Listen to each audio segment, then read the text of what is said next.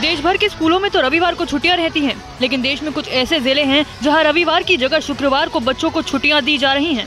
बिहार के किशनगंज अररिया पूर्णिया और कटिहार में करीब 500 सरकारी स्कूल हैं और आज रविवार को इन स्कूलों के बच्चे घर में छुट्टियाँ मनाने की जगह स्कूलों में पढ़ाई करते हैं बिहार के इन स्कूलों में शुक्रवार को छुट्टी के पीछे की जो इनसाइड स्टोरी है वो काफ़ी चौंका देने वाली है किशनगंज, अररिया, पूर्णिया, कटिहार के इन जिलों में मुस्लिम आबादी 30 से 70 फ़ीसदी है और बताया जा रहा है कि इसी वजह से इन स्कूलों में रविवार की जगह शुक्रवार को छुट्टियाँ दी गई हैं।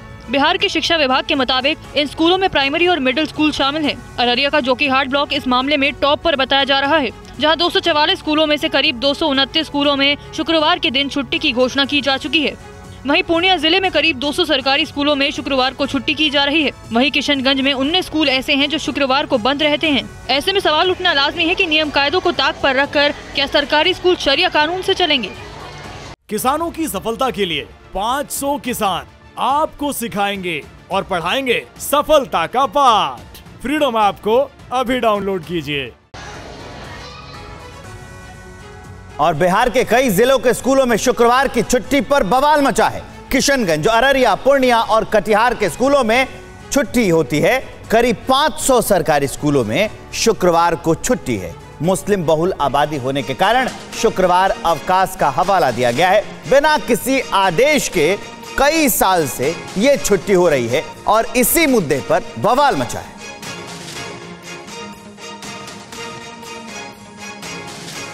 तो बड़ी खबर है, बिहार के कई स्कूलों में शुक्रवार की छुट्टी पर अब सियासत गर्म हो गई है। बीजेपी ने पूरे मामले पर गंभीर सवाल खड़े किए हैं। जेडीयू ने इसे पुरानी परंपरा बताया है।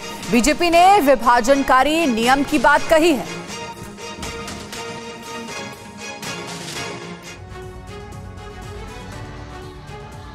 बिहार के कई स्कूलों में शुक्रवार को छुट्टी पर सूबे की सियासत गर्मा गई है। जेडीयू के साथ सरकार चला रही बीजेपी ने पूरे मामले पर गंभीर सवाल खड़े कर दिए हैं। जेडीयू इसे पुरानी परंपरा बता रही है तो बीजेपी ने इसे विभाजनकारी बता दिया है। हम रविवार को स्कूलों में ऑफिसों में छुट्टी मनाते हैं। ये शुक्रवार को ये कहना मैं समझता हूँ कि ये उचित नहीं है। ये तो एक संप्रदाय के लिए सरिया का कानून के तहत। इस बीच नीतीश सरकार के शिक्षा मंत्री विजय कुमार चौधरी ने जिला शिक्षा अधिकारियों से ऐसे स्कूलों की लिस्ट मांगी है जहाँ रविवार के बजाय शुक्रवार को छुट्टी रहती है। वहीं डिप्टी सीएम तारकिशोर प्रसाद ने साफ़ कह दिया है कि बिहार में सरकारी स्कूल धर्म के आधार पर नहीं बल्कि नियमों के मुताबिक चलेंगे। छुट्टियों के मामले में जो मापदंड पूर्व से निर्धारित है उस मापदंड का पालन होता भी आया है आने वाले दिनों में भी आगे होगा। अगर किसी प्रकार के उस मापदंड में कोई परिवर्तन होगा तो फिर उसका भी निर्देश निकले।